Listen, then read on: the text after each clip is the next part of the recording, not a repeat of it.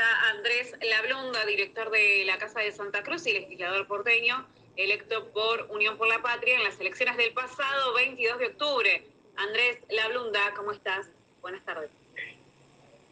¿Qué tal? Muy buen día a toda la audiencia, buenas tardes a toda la audiencia.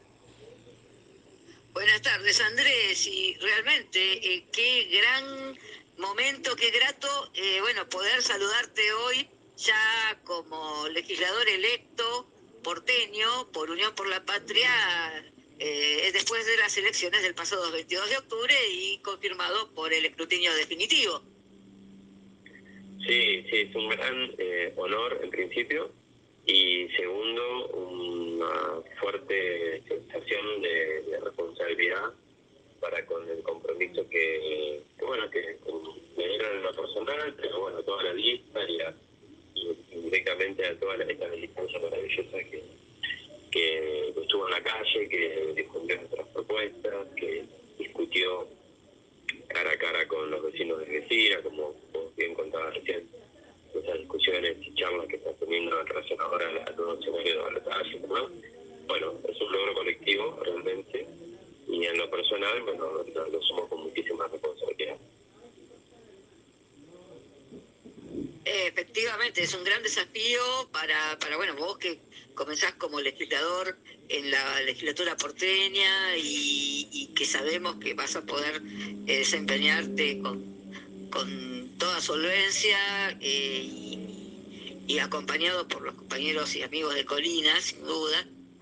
Eh, y, contarte, sabes que lo que se está dando en las calles es, se está propiciando la charla respetuosa del intercambio de ideas y en esos intercambios eh, serenos, no con la locura de, algunos personajes que, bueno que, aspiran a ser presidentes y, que no tienen la templanza necesaria, me parece, se, pueden dar eh, realmente charlas muy ricas y, se puede eh, intercambiar e entenderse respetuosamente, vuelvo a decir, y, cambiar los, eh, las opiniones, ¿no? Sí, es que, mira, me parece que es eh, fundamental eh, generar esos espacios como militantes, porque, bueno, hay un discurso muy instrumentado por parte de, de las personas Javier Pineda y Mauricio Macri, que son lo mismo, de este, intentar llevar una discusión sobre base de, irracionalidad, si quiere. Entonces, se han implementado en función de responsabilizado muchas emociones de nuestro pueblo, mucha bronca, eh, sensaciones de, dolor que se han acumulado desde la pandemia hasta ahora, eh, frustraciones para con, la política, bueno, ellos han, sabido eh, hacerse eco de todos esos malestares que están llevando a cabo con una propuesta que no tiene nada que ver con solucionar esos mismos problemas que la gente demanda, sino al contrario. Este, intentan Andrés, por abajo. Eh, sí, sí, perdón, perdón que te interrumpía. ¿Te corta? Eh, eh, no, no, no, perdóname que te interrumpí, que, que estaba cerrando la idea. No, no, sí, eso, que hay que generar los espacios este, para, para debatir, para explicar, para argumentar, porque del otro lado hay un proyecto absolutamente irracional que, justamente refuncionaliza muchas de las emociones de nuestro pueblo. Ya lo hicieron en el 2015, acuerdan con los famosos globitos amarillos de colores, que la revolución de la alegría hoy la hacen con, la revolución del miedo, si se quiere, con el terror, reivindicando el propio terrorismo de Estado, haciendo el terrorismo financiero, este, inclinando siempre a a, llevar o a ser funcional a los intereses más concentrados de nuestra patria. Sabes, Andrés, que eh, sí, dijiste bien. Primero fue la revolución de la alegría con los globitos y ahora la revolución del miedo.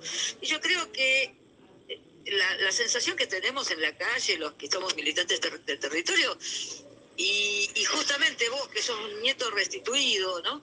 Eh, creo que hay un techo para ese discurso del miedo, que eh, la sociedad ya no está, no está, no tolera eh, tanta irracionalidad y tanta agresividad.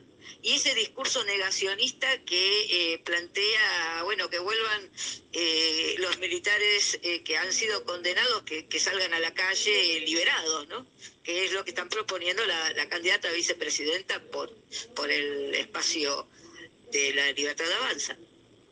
No, no, sí, es, terrible, digamos, lo que está del lado de, la propuesta de él, porque, bueno, ahí justamente el de Villarroel es la representación política del partido militar en Argentina, eh, con todo lo que eso conlleva, ¿no? Y con, con una muestra este, trágica, ¿no? Negacionista por parte de ellos de lo que pasó en la última dictadura militar.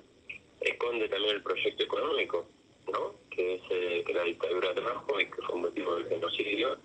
Eh, y esos mismos sectores, esa misma articulación de poder, bueno, que en su momento intentó represar hace años digamos, la propuesta hoy de Javier Milei sería una propuesta política como los años 90, si se quiere, pero recargada más a fondo. Y sabemos que esa, política de los 90 terminó en el 2001. Ahora quieren hacer eso, pero más rápido, con lo cual, eh, si le ganas Javier Milei, estamos a poco, al poco en un estallido social, económico, político y de todos los órdenes, como pasó en el 2001. Y aquellos que lo transitamos y sabemos, bueno, tenemos la responsabilidad de explicar qué pasó en lo que pasó hace tan poco tiempo en este país.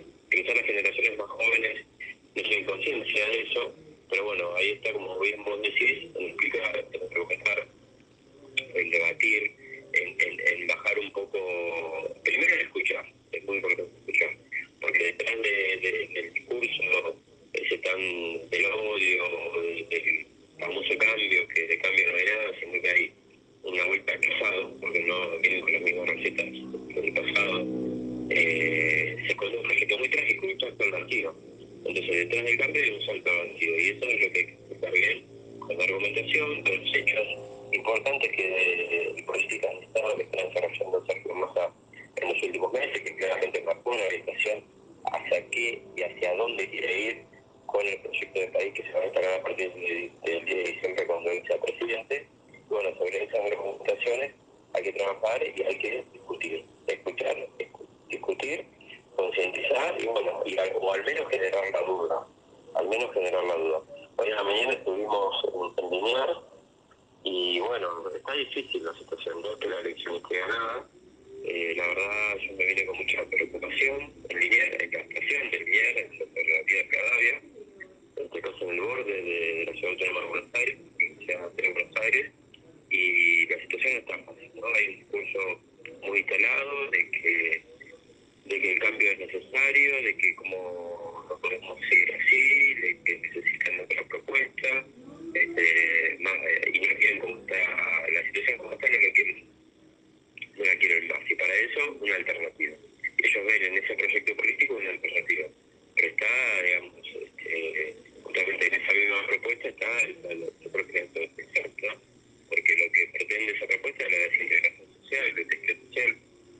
Entonces, bueno, me parece que es muy grave, no, es para estar quietos, yo creo que debemos salir y redoblar los esfuerzos este, que tuvimos desde el 22 de octubre hasta ahora, que bueno, un poco este, bajamos la intensidad de la campaña como la veníamos haciendo desde el cierre de lista hasta la general, así que bueno, el mensaje es fundamentalmente a la militancia, pero a, toda la Argentina y Argentina comprometida realmente con su país y con su familia a salir a defender por, una cuestión de autoprotección y autodefensa, eh, Así es, eh, coincidimos, Andrés. Sabés que en el equipo Graciela Sassano, nuestra columnista, eh, está queriendo hacer una pregunta. Graciela, te hago el pase. Bueno, cómo no, Marcela, gracias, buenas tardes. Eh, ¿Qué tal? ¿Cómo estás, Andrés? ¿Qué tal? Mm, de acuerdo a todo lo que estoy, estamos conversando con Marce, vos todo lo que nos estás planteando, ¿tendríamos nosotros que ir pensando en algo más estructurado para mm, comentar nuestra historia reciente, nuestra historia toda, pero la reciente evidentemente con más énfasis? Porque de alguna manera quizás se nos escapó el dato de que había mucha gente que no estaba registrando correctamente todo lo que nos ha pasado. Por ejemplo, acá tenemos este, candidatos que están diciendo que quieren que las Fuerzas Armadas se preocupen e intervengan en, el, en la seguridad interna, cosa que no se puede, y ahí se manifiesta un gran desconocimiento, de parte de ellos seguro, pero también de parte de los que escuchan. Ellos siempre esperan el momento, nunca, nunca van a dejar pasar ninguna oportunidad para volver sobre los mismos temas. Quizás nosotros, después de pasado este momento, tengamos que volver a esos temas y no dejarlos de lado y de alguna manera implantarlos para que siempre estén presentes. ¿Qué pensás de esto? Comparto. Sí, sí, sí, porque ellos lo que apuntan es a desarticular el consenso democrático por dictadura.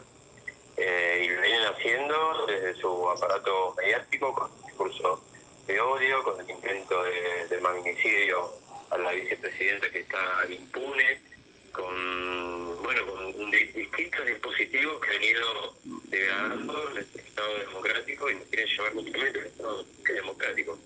Y eso es muy grave, esta insistencia permanente de involucrar a las Fuerzas Armadas en, la conflictividad interior de, nuestro país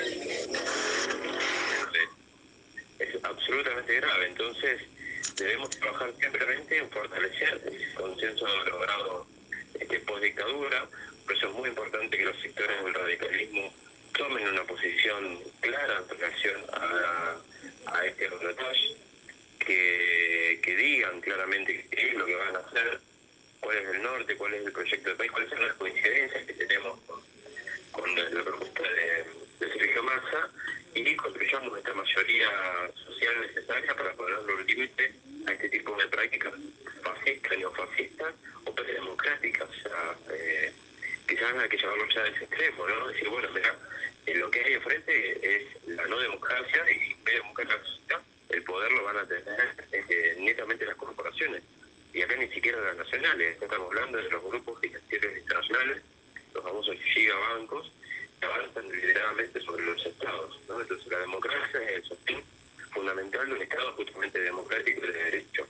Es nuestro escudo, es nuestra defensa. Si el pueblo no tiene un estado propio, bueno, avanzan deliberadamente estas corporaciones, que obviamente por lo primero que van a ver por nuestros recursos naturales, nuestras riquezas, este, nuestro territorio y nuestra soberanía. Entonces, es muy eh, determinante esta elección como fue el 22 de octubre, que todos vivimos con muchísima tensión. Yo creo que fue una de las elecciones de mayor tensión de la recuperación de la democracia hasta acá, me animo a decir. Y ahora el balotaje. Quizá nos confiamos un poco en el resultado, en esos siete puntos de diferencia, pero la elección no está ganada. Entonces la discusión hay que seguir dándola fuertemente, clarificando bien, argumentando, como decía recién, y diciendo a dónde vamos a ir si un proyecto de las características como el que encabeza Javier Milei eh, llega a la presidencia de la nación. Andrés, eh, bueno, nos quedamos con ese mensaje entonces de, salir a la calle, que nos estás convocando para marchar, para hacer, para seguir lo que dicen el, timbreo, el bajo puerta, la conversación con, con el vecino. Eh, no, está ganada, no está nada, no está nada resuelto, ¿verdad?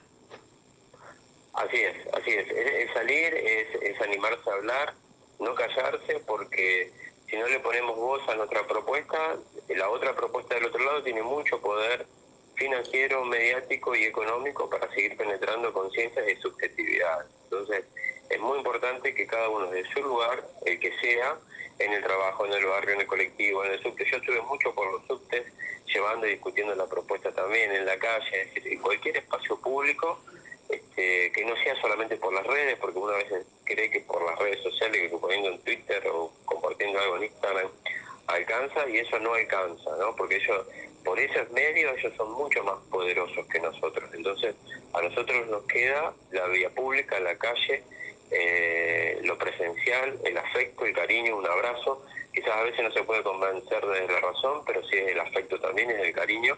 Entonces, bueno, pongamos todo nuestro ser, nuestra existencia a jugar de cara a esta elección, que no es una elección cualquiera, no es una elección más, se está definiendo ni más ni menos, y no es un discurso vacío, sino que se está defendiendo el futuro de, eh, nuestro país.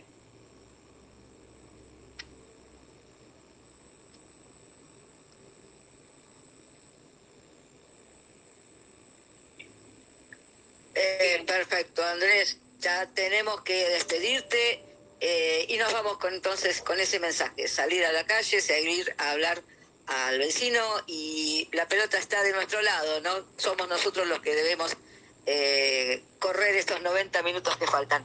Te mandamos un enorme abrazo, Andrés La Blunda.